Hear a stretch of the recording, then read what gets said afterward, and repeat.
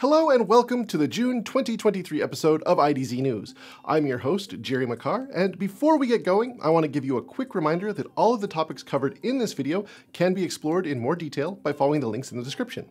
With that out of the way, let's get going. First up, I'd like to point you over to the latest episode of the Intel Graphics Performance Analyzers Framework Quick Tips series, focused on the screenshot layer. Watch the video to learn how to add screenshots to your captured stream so you can quickly find the frame you are interested in.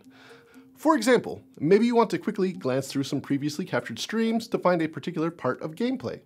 Adding screenshots will allow you to visually search your stream folders. It's a short, informative video and well worth the watch. If you're a game developer and haven't been watching these monthly releases, you're missing out. Get caught up on the series and keep checking back as there's much more to come. Next up, Using optimized AI software can significantly improve AI workload performance, developer productivity, and compute resource usage costs. Intel OneAPI libraries enable the AI ecosystem with optimized software, libraries, and frameworks. Download the Intel Optimized AI Libraries and Framework Quick Start Guide that looks at optimizations that include leveraging accelerators, parallelizing operations, and maximizing core usage. And check out Intel's full suite of AI tools and framework optimizations. You'll be able to learn more about all of this and really dig into more optimization packages and tuning guides by visiting the Intel Optimization Hub. Our final subject invites you to try federated learning with OpenFL.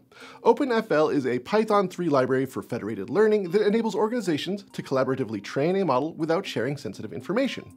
Read the full article and watch a demo by deep learning software engineer at Intel and an OpenFL maintainer, Patrick Foley, that will help you get started in just a few minutes.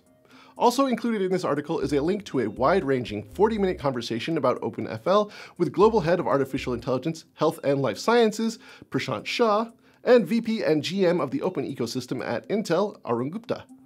In their discussion, they talk about hungry AI models, a lack of diversity in datasets, explain the federated learning model, and how OpenFL solves the data silo problem. That's all for this episode of IDZ News. While you're here, remember to like and share this video and subscribe to the Intel Software YouTube channel to keep up to date with all your IDZ news. I'll see you in July.